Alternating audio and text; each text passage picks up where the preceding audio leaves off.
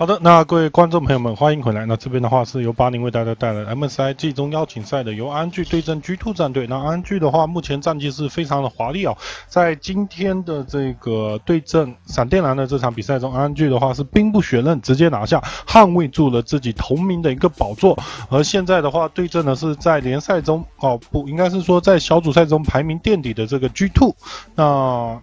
呃，相信而言，应该来说是可以比较轻松的拿下的。那 G Two 的话，最近他们那个状态真的是非常非常的，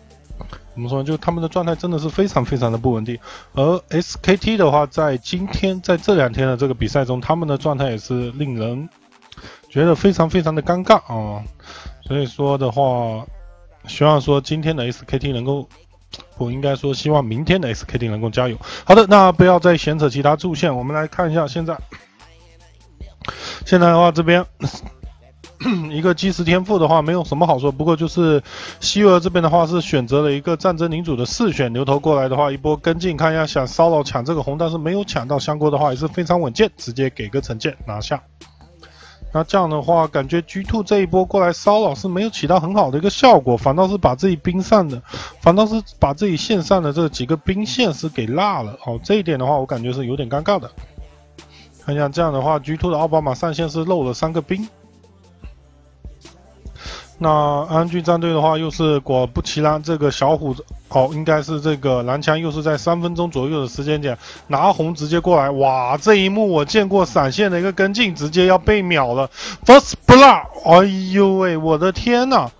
这个 G2 的沙皇的话是没有吸收在昨天 SKT 对阵 RNG 那场比赛中的那个教科术式的一个干考，又是在二级的时候，这一波的话是相对比较早的一波二级的时候直接过来，感觉现在 RNG 的话确实在打这一种，看一下这一波二级又是同样，基本上是同样一个位置，直接蓝枪过来一技能跟进，哇，直接二段的一个伤害，直接爆死。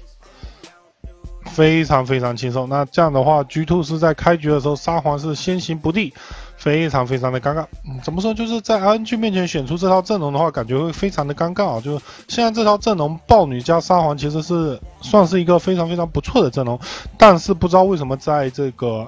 嗯在 MSI 的比赛中，这套阵容的话并没有赢过。那经验值的话，或者说和经济也是直接让给 Ruper，让 Super 的话上路进行一个稳定的一个发育。看一下最后一项，等兵的话是让尽量的是让对面的兵把自己的线给吃了。那这样的话，这波兵线的话，看一下 Ruper 是不是要考虑控回去。中路的话，豹女想过来游走一波，但是小虎的妖姬非常的秀，直接的话又是过来点你啊，就是这样子硬点你，你能奈我何？然后再看一下其他线的一个情况，感觉这一场比赛的话，应该来说是可以一场兵不血刃的一场比赛啊，但是。怎么说呢？在之前的话，其实之前的话，这个 SKT 的比赛我也是觉得会兵不血刃，但是结局的话确实是大大出乎我的意料。所以说，在今天的话，我们这边话还是不要说的这么满。但是的话，RNG 这边在小组第一轮结束之后，以一个全胜的战绩领跑，领跑这个 MSI，真的是。让我们觉得这个 LPL 的话，或者或许真的啊，也许的话，我们跟其他韩国队的这个跟韩国赛区的整体的一个差距，并没有想象中的那么大，也没有想象中的那么夸张。这一点的话，应该来说是比较庆幸的一点吧。或者说，也许是 SKT 不在状态。那不管怎么说，反正这个 SKT 的话，在 MSI 连败四场，已经是成为了个历史啊。那希望说，就是希望说 SKT 在之后的话，能够调整状态嘛。毕竟啊，这个 Faker 大魔王还是很值得信赖。看一下小虎这边是没有交易，交个一技能念住。这边的话，沙皇有可能是要跪了。Q 键打一下三皇这边的话，直接是交了一段超远距离的位移，直接被打残。小虎的妖姬的特点就是这样，就是他的一技能会。打得非常非常准，相比起其他妖姬，也许他的手速、他的连招不是最快最流畅的，但是他的 E 技能的命中率是最高的，这一点是非常非常可怕的。那一技能命中率高的话，就意味着这个妖姬身上随时有一段这个可以打出两个 Q 键的恶魔印记的这个效果。那这个伤害一般而言是没有几个脆饼能够承受。看一下 Ruper 这边的话，又是直接把下路塔给推掉。双方的话基本上是一个镜像的一个推塔。而与此同时，RNG 这边是选择动了这个峡谷先锋。那先锋的话，应该来说是要给到这个香锅。那香锅的话，有先锋的一个移速加成，也可以更好的跑出去支援 gank。中路妖姬的话，跟沙皇的一波纠缠，沙皇这一波的话，怎么说？沙皇这边的话也是没有办法，只能选择先出一个这个魔抗斗篷啊，必须。如果说不出魔抗斗篷啊，在对线妖姬的时候，确实在线上打的是非常非常累。而且这边的话，沙皇也是比较果断，选择了一个进化，而小虎的妖姬依然是选择带引狼，非常非常凶的一个妖姬。看一下，过来消耗一下，直接的话，这一波是不让对面的沙皇回城。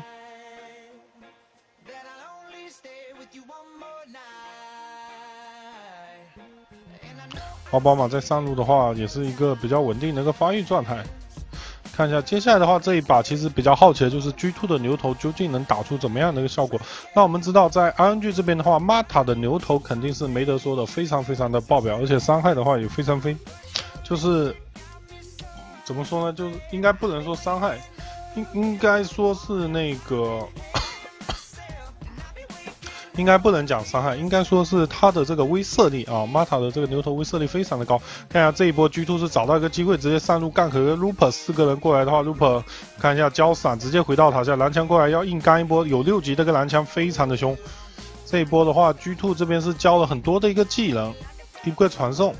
然后的话，是牛头交了一个虚弱，但是还是没有形成这波 gank。中路这边的话，布隆过来游走一波也是，哎，小虎闪现二段的一个跟进，看一下这边沙皇非常的秀。小虎这边的话是交了一个分身在原地，回去的速度非常非常的快，在刚刚那一瞬间，哇，这个操作，小虎现在的状态真的是有点逆天啊，这种情况。那其实比较期待的就是这个，怎么说，RNG 下一次跟 SKT 的这场比赛啊，比较期待是这样的一个情况。而 SKT 这边的话，也是急需要这个一场胜利来证明他自己们的，他来证明他们自己的一个情况。下路这边希维尔推线推的非常的快，那这样的话，希维尔这英雄相对而言，他也算是一个打到后期比较强的一个英雄，因为这个 W 机制的一个改变，打到后期的话，Q A W Q W A 哦，那一个伤害是非常非常爆炸的。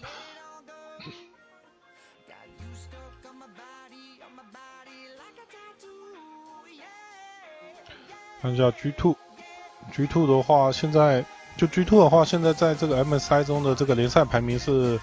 呃，靠近垫底的这个位置啊。就靠近垫底的话，这样子有可能，就是现在的话，今年的 MSI 是引入了一个规则嘛，就是会有一个种子身份的这种情况。如果说 G Two 的话没有进入前四强，好像是会被取消一个种子身份。那这样子的话，感觉就会非常非常尴尬了。看一下这一波小虎的妖姬过来二段的一个回去，但是被波比直接个逼动豹女的话一标标中，小虎妖姬倒地。那这一波的话可以说是对面预谋已久，但是这边的话蓝枪一个贴脸输出奥巴马的话应该是顶不住了，没有塔直接活生生 A 死。而且奥巴马在临死之前还是交了一个死亡闪现，这点，这点感觉是非常非常的尴尬啊。不过的话，因为小虎在中路阵亡的一个原因，所以说。这个 G2 的话也是直接把安具的中一塔给推掉了。那这样的话，可以说沙皇的这个节奏就稍稍微的有点起来。可以看到这个沙皇的话，没有说直接选择做一个负极斗篷，而是选择做了这个魔抗斗篷之后，再出再出这个叫分次啊，不好意思，最近的话经常会莫名其妙有些卡壳，也是请大家见谅一点啊。其实我也不想的，但是不懂为什么默默的就会有些卡壳。然后这一把的话，我觉得这个 RNG 这边打的状态是比较轻松的。看一下这一波身上的话有大，完全是不怂，牛头 WQ 二连的一个顶起，但是并没有这么卵用。而且的话也是知道这个 Ruper 身上有大招，所以说没有选择过于深入的一个追击。那 Ruper 这边是顺利离开了。不过 G Two 这边的话，在眼位上的视野布置还是比较不错的，已经是把野位布置到安具的一个野区。中路的伤，哎呦。我刚说完中路的沙皇没有出斗篷，他就回家再出了一个斗篷啊，这个真的是非常非常酷炫。然后看一下沙皇的加点是主 Q 负 W 的，那主 Q 负 W 的这种沙皇的话，它必然是要选择出纳什之牙的。如果说没有出纳什之牙的话，它是没有办法啊，有有这个攻速的一个加成的。那之前的话给大家做过一个沙皇是这个 QW 对点的哦，这个沙皇的话其实也是蛮有意思的，大家可以去考虑一下这种加点，挺特别的吧。香锅的话，这一把蓝枪也是打得非常非常的顺。不过对面的话，豹女好像刷野速度相对而言快了许多，已经是七十二刀了。而蓝枪这边的话，因为有这个人头数上一个领先，相对而言还可以保证。那十一分钟的时候，安安居这边终于选择斗龙龙，可以说这个安安居的话，他什么都好，就是对于。小龙的一个掌握感觉的话，就是慢人一拍。那这一把比赛的话，相对而言，安安巨的话在野区取得优势的时候，在这个有取得优势的时候，是直接入侵啊对面的这个野区，然后的话来保证自己小龙的一个获取。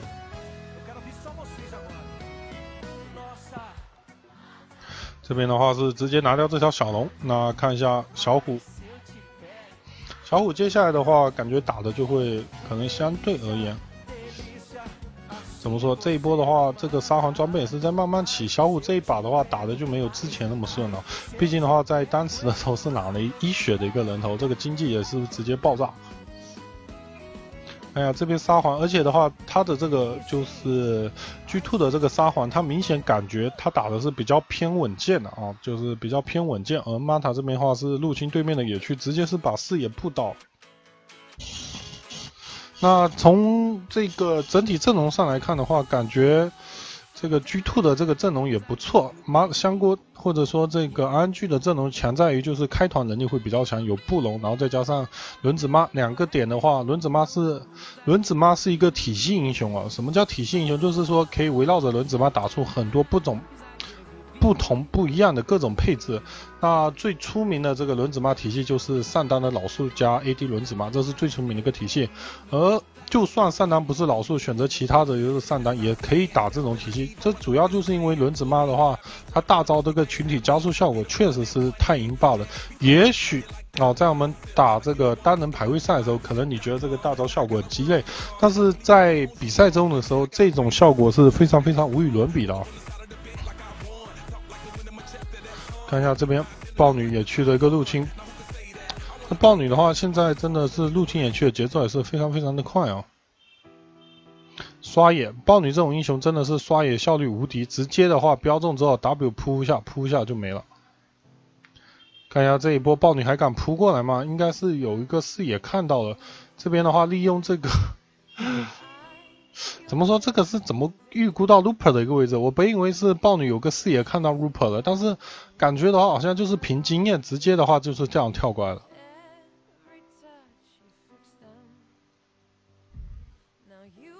那还一点的话就是明天其实比赛还一点就是看 SKT 啊，为什么明天还看 SKT？就是看 SKT 会不会把奔吉给换上来哦。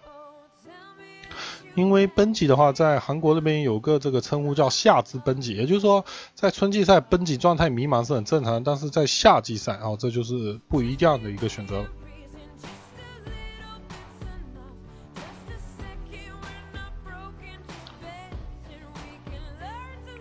沙皇这边的话也是稳健的一个发育啊，可以说沙皇在这一把的话，虽然说死了一次，但是感觉于大局而言的话是没有什么很大的一个影响。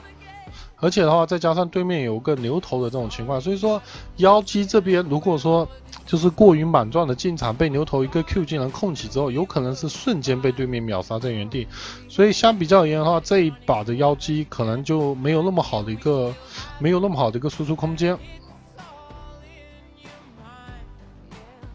看一下小火妖姬还是很凶，不停的用这个 W 往前蹭啊。轮子妈的话，在推了上下两路塔的时候，终于是把这个魔爪升到了中路塔。看一下妖姬，刚刚那一波的话，小五的妖姬明显是想骗牛头的这个 WQ 二连，但是没有骗出来。轮子妈这边也是非常果断，直接的话是开启了个大招。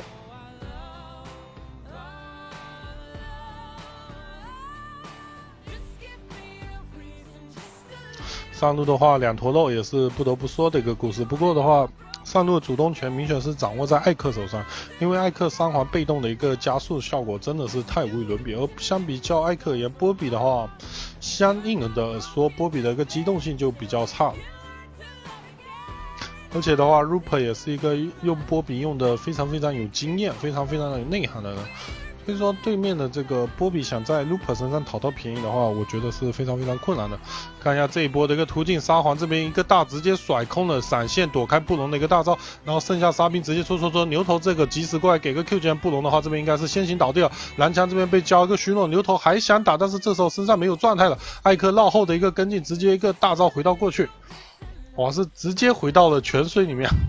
艾克这个大招回的真的是超远，哎，沙皇这一波有点逗，这一波的话，沙皇一个回城应该是直接去看基地了，所以说没有注意到对面妖姬过来，妖姬刚刚过来的话，沙皇这边是有视野的，哎呦，G two 的这个中单感觉是真的是状态有点迷啊，这等于是被妖姬白白的捡了一个人头，刚刚那波妖姬在侧翼的个埋伏的话，明显可以看到 G two 是有视野的，但是。不懂怎么说，不懂说是沙皇没有看到，还是队友也没有提醒他。看一下这一波，想一个走位推过来，但是这边的话，希维尔用治疗加速，直接是走出了沙沙兵推移的一个范围。牛头一个及时的赶到的一个进场哦，直接是秒掉。然后看一下艾克这边绕后的一个传送，直接把沙皇打了一个大长。然后接下来的话就是对面的一波追击了。波比这边闪现一个 B 东给大二段的一个控制，然后沙皇的话是在侧翼直接是被妖姬给收掉了。那一波的话，感觉 G two 的这个沙皇现在状态确实是，就现在 G two 沙皇他的这个状态不能说是很好，就我说的是选手的状态。而且他自己的队友的话，刚才那一波，我觉得队友也是有点问题的，因为你那一波明显有个视野可以看到对面的妖姬，但是队友也是没有提醒。所以导致 G two 的沙皇是被妖姬默默的给偷掉，这一点是蛮尴尬的。不过还好的话是已经做出了深渊，然后身上有分刺法穿起来，那这样沙皇也有一定的输出能力了，而且相较而言的话，不会那么怕妖姬上来的一个消耗和 poke。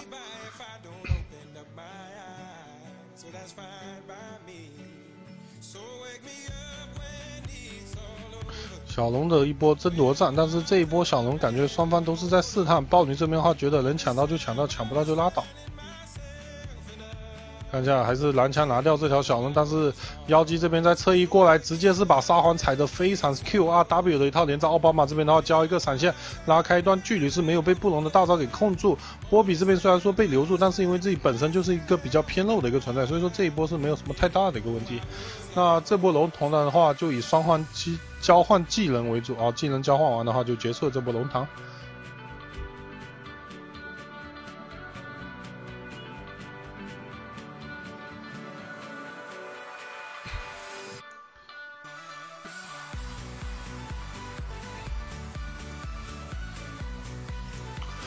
时间也是慢慢来到十八分钟了。就阵容上而言的话，这个安居这边在后期可能要更靠更靠无心啊，无心轮子妈一个疯狂的一个暴击几率来打群体 AOE 伤害。而 G two 这边后后期的话，明显沙皇是这个，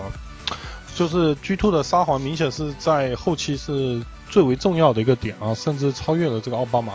奥巴马这英雄的话，我们都知道是一个后，是一个中后期英雄，也就是说他在中期和前期的时候就已经是开始发力了。但是打到后期的话，因为那个令人蛋疼的这个八百码射程，确实是没有什么太好的一个脾气。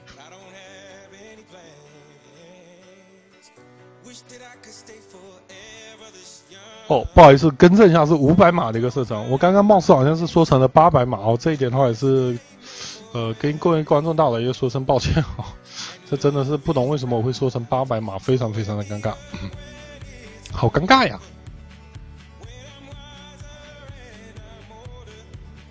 看一下这一波的话，大龙是已经刷新了，不过的话，感觉双方这边应该是没有什么直接能偷龙的这个节奏吧。三皇这边也不肥，奥巴马的话装备也一般，而反观对面的话，蓝枪装备是还不错，但是西维尔的装备的话，可能只能说是。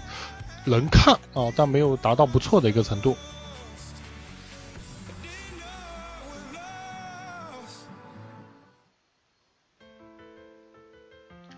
哎呀，G two 这边的话，组织一波推进，妖姬的话在侧翼，可以看到小虎的妖姬，它基本上都是在侧翼的一个埋伏啊。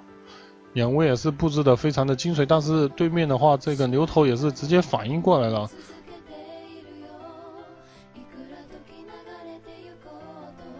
小虎的妖姬真的是打得很凶啊，直接又是一套 Q、R 上来的一个消耗，就很自信啊，觉得对面的话并没有办法控住自己。看一下这一波是先打牛头，想把牛头的一个大招给逼出来。妖姬在这边在侧翼的话，一波追击应该来说是没有什么太大的一个问题。波比的话给个 W 时光交错，后续的话阵型被隔开了，G two 这边是有点危险。波比的大招是空了，妖姬闪现直接被定住，但是被波比的一个逼咚。这边的话妖姬残血应该是会被烫死，差一点点的伤害没有被烫死。哎呦，这个的话小虎真的是玩极限，这边应该是只有二十点血没有被烫死啊。本以为的话是会被这个。哦，对面的话是没有持续的一个伤害哦，这一点是我的锅。感觉刚刚那个血的话，总觉得对面好像是有一个红 buff，应该会把这个小虎给烫死，但是没有，小虎又是在二十点血啊，极限的一个残血逃生。那这一波双方也是打得非常非常的纠结。其实本来这一波的话是 G two 要炸的啊，但是没想到 G two 这边处理的非常非常不错，而且波比这个大招虽然说是赤裸裸的一个空，我们注意观察一下妖姬的一个进场，布隆这大招也是空大，直接是被波比啊给反弹，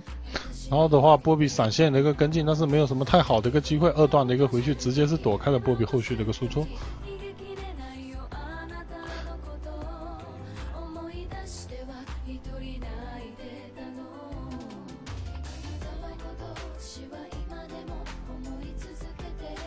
那这样子的话，我们来看一下接下来的一个场上局势。可以看到，就是 G Two 这个队伍打得很顽强。我怎么感觉现在的话，就是 MSI 的六支队伍，除了说真的就是在明面上来看的话，可能说外卡的实力相对而言会差一丢丢啊。但是的话，感觉其他位置的话，实力真的是，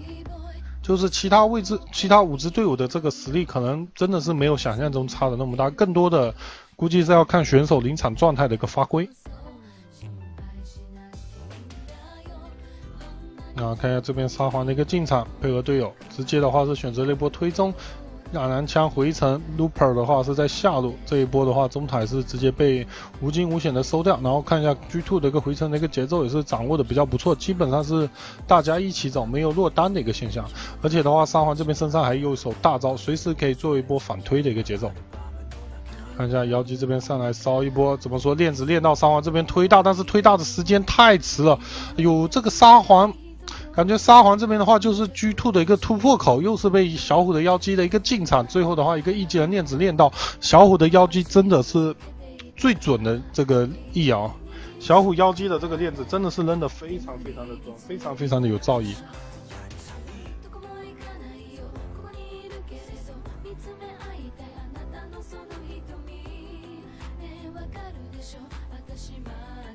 啊，这样的话，比赛是默默的进行到二十三分钟。那应该来说的话，现在是这个安具的一个强势点，要到三十分钟以后，沙皇的三件装出来才能轮到沙皇说话。所以说这边的话，看一下安具能不能把握住他们这个阵容比较强势的一个时间点。看一下这一波，明显就是这个沙皇又在拖大了。一个 E 技能的话，在没有 Q 的一个加成下，是距离不够。最后一波推大也是什么东西都没有推到。感觉怎么感觉最近的沙皇都好惨啊，都是成为整阵容，就是都是成为这个整个阵容的一个突破口这样的一个存在。看一下波比这边那个逼咚小五这边的话非常的危险，最后一丝血直接被这个豹女一枪飙死。这刚刚的话是什么情况？感觉是小虎过于猛烂了吗？那现在的话发现，就怎么说，就这一把小虎打的这个非常非常的烂哦。感觉还是要稳住啊！这个不败金身的话，不要在第二轮的第一波就破了，那这样子就是蛮尴尬的啊。这个金身还是非常非常有用和有效率的。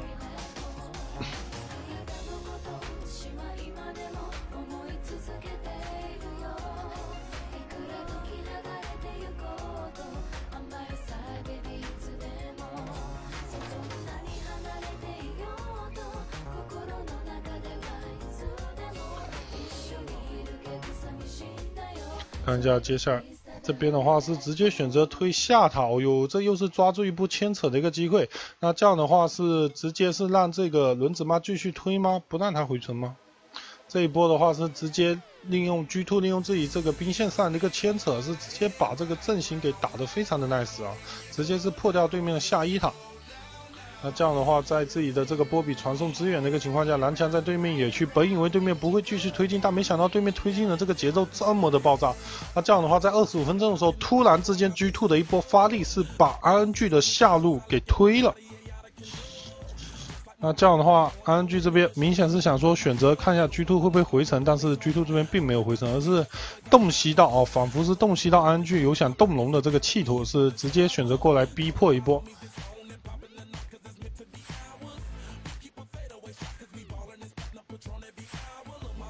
哎呦，但是 G two 这边的话，这个回城点真的是给人家有点看不懂，应该是已经意识到了在打龙，所以说这边的话也是不停的在给对面的一个信号。看一下豹女这边跟自己的队友脱节了，怎么说？豹女这边要率先被秒，被秒，诶，闪现没有拉开一段距离。蓝枪的话，最后是用利用自己的一个惩戒，稳稳的收掉这条大龙。看一下这边 G two 想留谁？留妖姬，这个是不太现实的一个情况。哎呦，但是妖姬面对着这个多人这个围截是没有什么机会了。这一波的话，妖姬回去，奥巴马的一个进场直接是把妖姬给秒掉了。不过这一波的话，感觉节奏还可以吧？就是说，利用这个 G two 在推下路，离大龙比较远的情况下，然后 G two 的一个回城也是，怎么说？就 G two 的回城也是非常的不小心啊！他们在竟然大摇大摆的走到中路线上，这一点是我万万没有想到。你这个 G two 的话，明知明知道对面的话是已经要准备打龙了，你还大摇大摆的从线上走回去。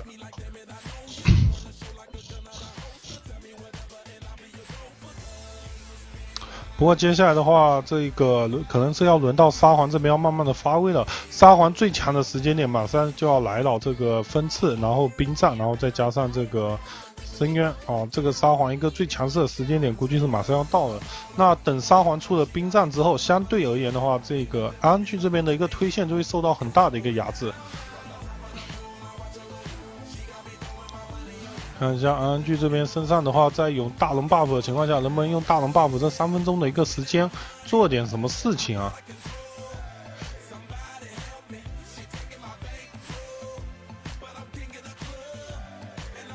你说现在 RNG 这边的话，想集合在中路去进行一波推进嘛？轮子妈这边的话，装备已经是补的差不多了。这个时间点的话，两件。一个无尽，一个萃取，然后再加一个这个电刃，那这个轮子妈的一个装备也是非常非常爆表的。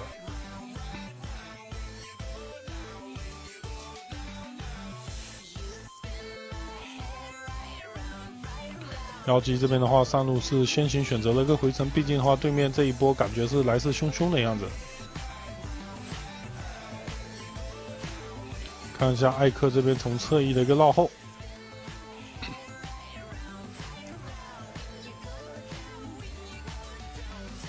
波比和妖姬两个点都在侧翼，但是 G two 这一把打的真的是非常漂亮。他们就是在进攻的时候，永远啊，就请注意，就是他们几波进攻的时候，他们永远都没有放弃掉自己在侧方的一个视野啊，就在自己后方的一个视野的一个保证。那看一下 G two 这个撤退的情况，应该来说是没有什么太大的问题。那这样的话，反倒是在有大龙的时间，反倒是 G two 利用自己阵型上，在开始要准备慢慢发力的时间点哦，然后再加上下路兵线的一个牵扯，是顺利的拖过了安巨的这条大龙的一个时间。可以看到安巨的话，这条大龙的一个持续时间的话，经济仅仅是非常的低啊，加了可能就一千六吧，最多了，加了一千六的一个经济，可以说这这个大龙 buff 的话，拿的真的是。没有什么很好的一个效果。G two 这战队怎么感觉？G two 跟血楼剧这两个战队的话，是不是说好的呀？这个真的是遇强则强，遇弱则弱啊！这个谁都可以打，也谁都可以打得过的感觉。基本上在场面上来看的话，G two 和 C 楼剧这两个战队在场面上是不会落于下风的，这点真的是最骚的。而且的话。这一把就是怎么说就是马塔这边的话在选择了布隆这种比较偏向防御性的这个辅助的时候确实是就是没有他打牛头那么秀没有他打牛头那么出色啊。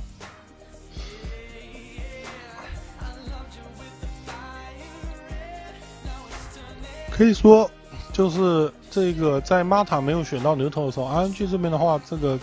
就是开团的这个能力感觉是降的不止一个档次或者说应该正确的说法应该是对开团时机的把握降的不止一个档次啊，因为布隆这英雄他确实不算是一个很强的一个开团英雄。来看一下这一场的话是第三条小龙的争夺，这边的话艾克直接选择了一个传授，香锅这边的话也想过来跟进，牛头这边直接给个 W 把香锅给顶走，但是这个时候龙圈的话 RNG 的一个进场是直接先秒奥巴马，再秒牛头，牛头的话应该是不能跑 G two 这边的话是被迫打了一波，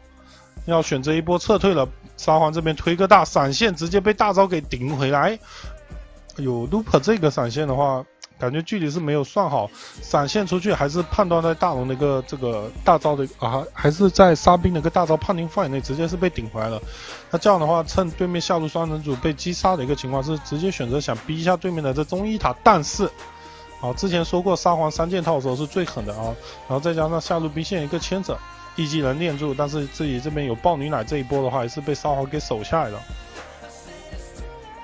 那现在局势有点要慢慢往这个 G two 方向走的这个意思啊。虽然说这个安居的话整体阵型还不错，但是接下来的话对于小虎，对于小虎的这个考验就更重了。然后还有的话就是这个吴昕。接下来可能是要由前期在三十分钟以内的话，前期是这个妖姬一个核心发力点。那接下来在三十分钟以后的话，应该是要看一下吴昕，吴昕这边的话能不能扛起队子的队伍的一个重担哦。妖姬在这一把的话，他没有一个很好的一个输出环境，对面有牛头，有牛头的话，妖姬每一次 W 上去都是要冒着很大的一个风险。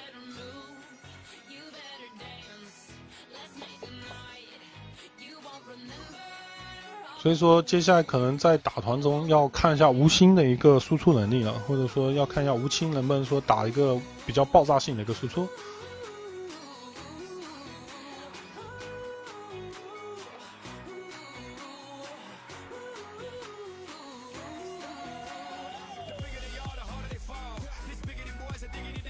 这一把的话，感觉 G Two 其他队都表现的非常不错，除了说中路的这个沙皇几波真的是迷之操作啊。看一下沙皇这边又是立了一个塔，波比的话回去防守身上有传送，所以说问题还是不大。再加上有牛头在不停的奶的这种情况下，局势的话对于 G Two 来说还不错，而且可以观察到就 G Two 的这个绕后眼，哇，这 G Two 在打这个推进的时候，他们这个绕后的眼位的一个处理真的是非常非常的 nice，基本上可以说是没有给 RNG 留下任何的机会去做这种绕后的一个开团，或者说在侧翼妖姬从侧翼突然的一个杀戮。大龙的话，五秒钟刷新。看一下 G Two 这边的话，是想选择大龙来逼团的，因为现在明显在这个沙皇三件套之后，G Two 的一个输出能力已经是末，就是在团战的一个输出能力已经是超过了这个 RNG 战队。啊，看一下布隆这边的话，顶一个无坚不摧，消耗下牛头这边一个人走在前面，虎视眈眈，有点想上来开团的一个是。而在侧翼的话，沙皇这边是逼退了想上来的一个 Looper。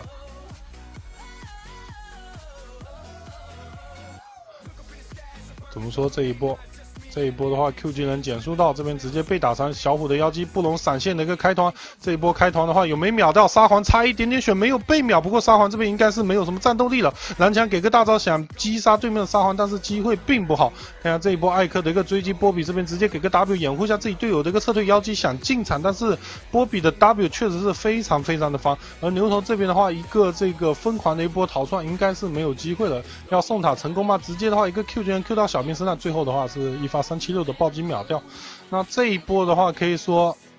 怎么说就是又是 Mata 的一个开团啊。这个 RNG 战队现在真的是太依赖 Mata 的一个开团，这感觉会在今后啊，就是 RNG 战队过于依赖 Mata 的一个开团，在今后可能会埋下一个伏笔啊。就你这么依赖的 Mata 的开团的话，那那你之后如果说对面就针对你 Mata 的一个开团英雄做限制的话，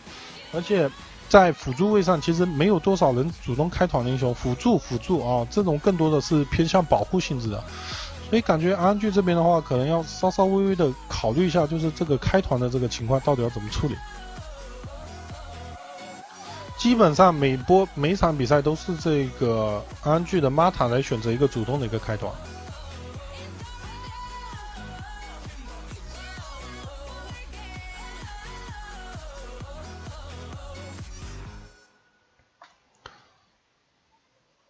那看一下接下来场上的一个局势的话，这个。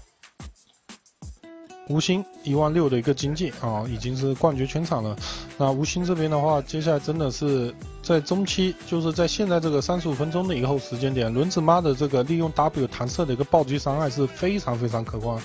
所以说打到这中后期，可能更要看一下轮子妈的一个发挥。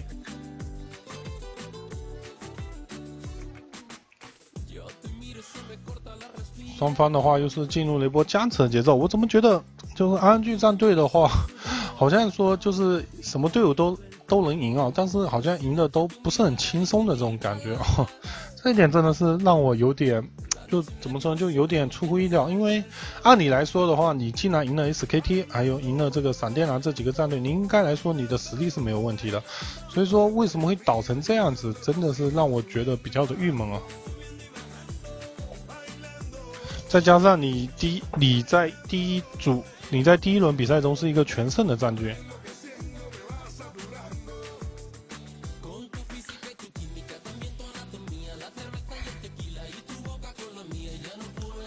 看一下这一波。没有什么很好的一个机会，这边的话，沙皇这边开始戳了艾克这一波传送，传送位置非常致命，但是对面有鸟流的一个情况啊，有波比这个大招是直接把希尔给炸出来，希尔这边的话是浪费了两到三秒的一个输出中跟接，沙皇侧翼的一个跟进，想秒妖姬艾克的一个进场，沙皇这边的话是回到自己队友的一个怀抱中，艾克这边疯狂的一波突进，奥巴马已经先行倒下，这一波 RNG 战队要起势了，看一下这边的话。豹女应该是跑不了，这边艾克在等自己的个一技能，豹女惩戒一下，想回一下自己的血线，一技能距离有点不够，豹女这边应该是还可以再跳一下反身，给个 W 给自己奶一口哦？反身给自己奶一口之后给 Q 技能限制下艾克，哇，这一波很突然的一波时机，艾克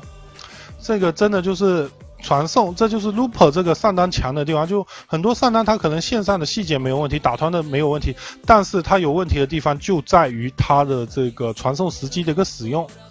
那这一波的话，应该来说是直接一波了 G two 啊，G two 这边的话是打了三十五分钟的好局，但是没有想到在一波这个沙皇，沙皇这边的话也是比较莽撞的过去想秒掉对面小虎的妖姬，小虎的一波成功的勾引，再加上 Mata 的一个开头，是直接把 G two 又斩于刀下，哇哟这一把的话，G two 其实打得非常的漂亮，但是总感觉 G two 这边的话离胜利是差了那么一点点，就是差的这么一点点，他是。就是没有办法拿到胜利，而 G Two 的话，G Two 的话又是吞下了这个失败的一个苦果。那这样的话，RNG 战队依然是以一个傲居全组、傲居 MSI 的这个六胜全战、六战全胜的战局领跑 MSI。好的，那这边的话是由八零为你带来的这个，由八零为你带的这个。MSI 的这个 RNG 对阵 G2 的这个比赛视频，那这场比赛也是恭喜 RNG 顺利拿下。那我们这边的话，明天的比赛再见，拜拜。好，最后的话，请大家帮忙点击一波这个图片广告。那在这个视频的右边有这图片广告，请大家帮忙点击一下。同样的，在这视频正下方也有这图片广告，请大家帮忙点击一下。那还有的话就是关注一下我的微博呗，八零 OBC，谢谢大家。那就这样子喽，拜拜拜拜拜拜。